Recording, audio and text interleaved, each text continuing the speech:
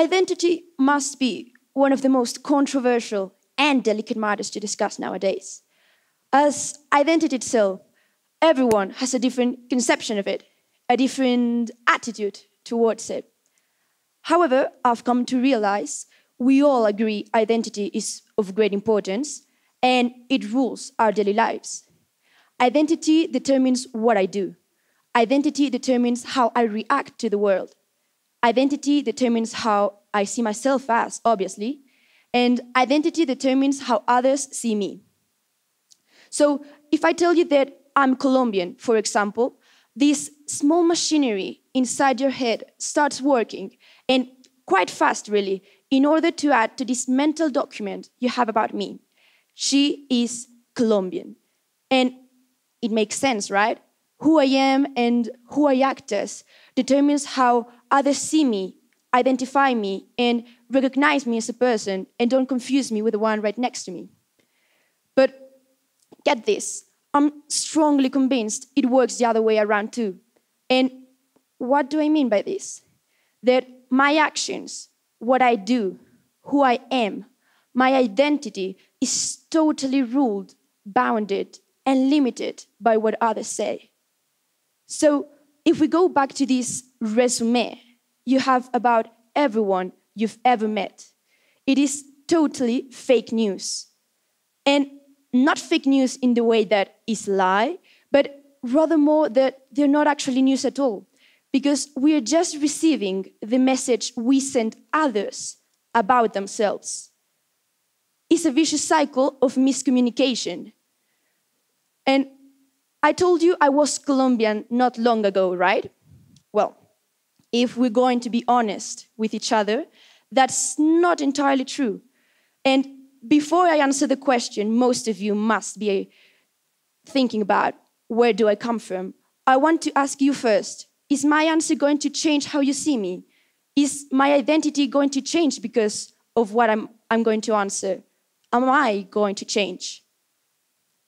I was born and I was raised in Chile, and I lived a really long time in there too. I mean, long enough for a teenager, anyways.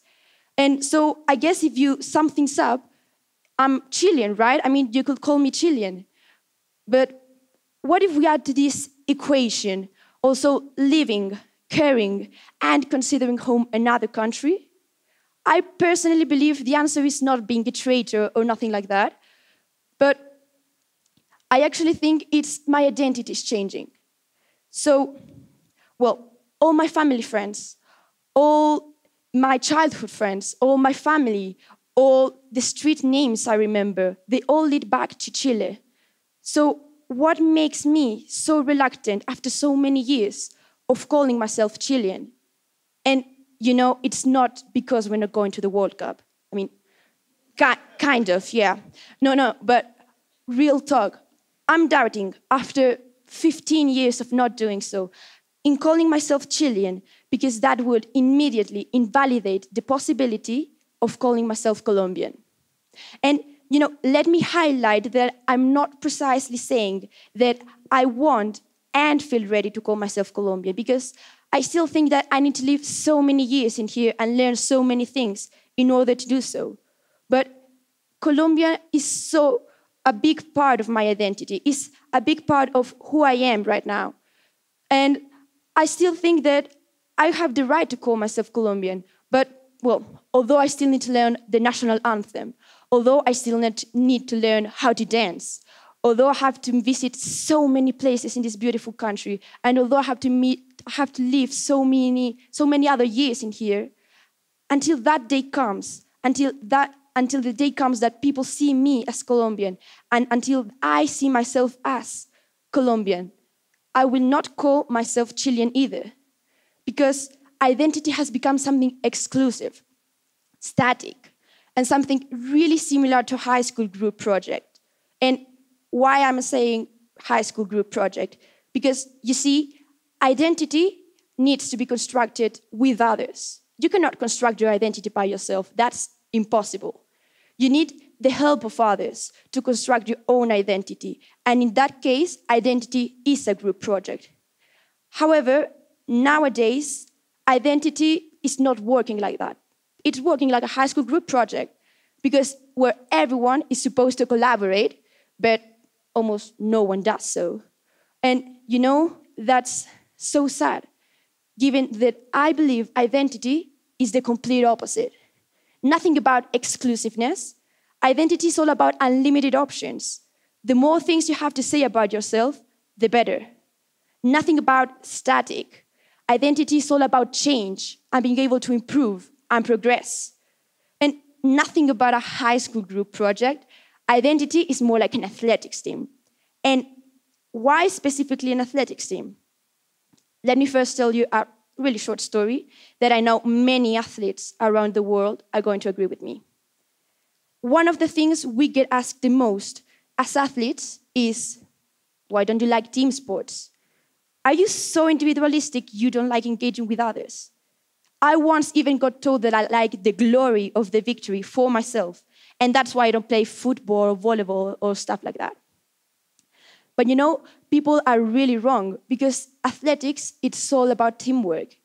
Because if it weren't when I've been running for over an hour and I am tired and I'm exhausted and I want to finish, if it weren't because of my teammates, I would have never pushed myself and I would never improve.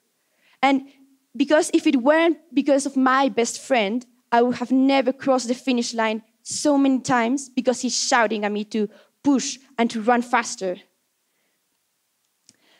Chuck Palahniuk once wrote, Nothing of me is original. I'm the combined effort of everyone I've ever known.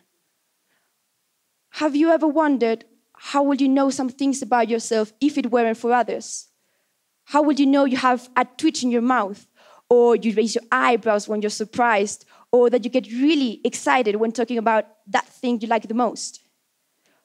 For my part, I would have never known that I have, that I have such a weird accent that sometimes is really difficult to understand. But because I interact with others, I can know and I do.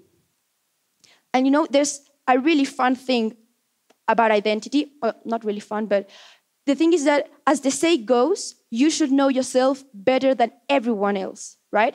But have you ever met yourself as you have met others? I mean, yeah, you have seen pictures, videos, you have heard voice notes, you have taken a glance at the mirror. I can look at my feet, and if I try really hard, the tip of my nose. But I've never met myself like I've met you, right? And that's the fun thing about identity, that you need to construct it with others. Now, um, well, there I have met a lot of people in this school that want themselves to call they want to call themselves Colombian. However, they are restricted. They cannot call themselves Colombian because of their physical appearance, or maybe because they look they have come from somewhere else, or because their family ties leads them from another place of the world. And that can't really happen because your identity is about you, right? And well, I've been thinking about it, and well, you have heard of eat, sleep, train, repeat. So now get ready for receive, accept, express, repeat. And what I've seen through others and what I think of myself, this is what the four steps of constructing your identity with others looks like. So, first, we have receive.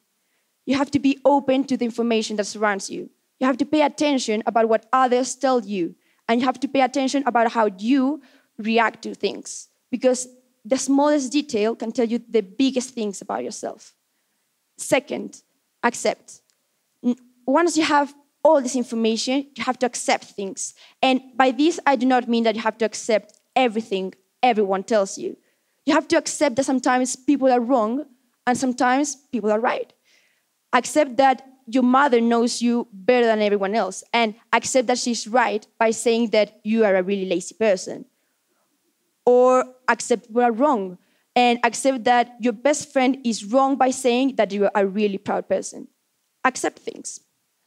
Third, express. Now you have all this information, you have deliberated, you know who you are, you have to express it. And this is the most important part. You have to show the world who you are. You have to react to the world who you are. You have to do the things that define who you are. See yourself as who you are, and others will see you. Lastly, repeat, because you can't expect to gain results if you go to the gym once a year, right? The same things happen here. You have to repeat. Repeat because practice makes perfect. Repeat because Rome wasn't built in a day. And now, before I finish, I want you to think one last time of my identity issue and not because I'm greedy or something like that. I want you to think of my identity issue because I believe it's the perfect metaphor to identity issues all around the world because it applies. Because when you're having an identity issue because of your career, your profession, gender, nationality, religion, culture, so many things, you have to deliberate. You first have to recognize there's a problem. Because if, there's, if there isn't a problem, there's nothing to fix. And because if you don't recognize you're playing a game, you can't never win. Thank you very much.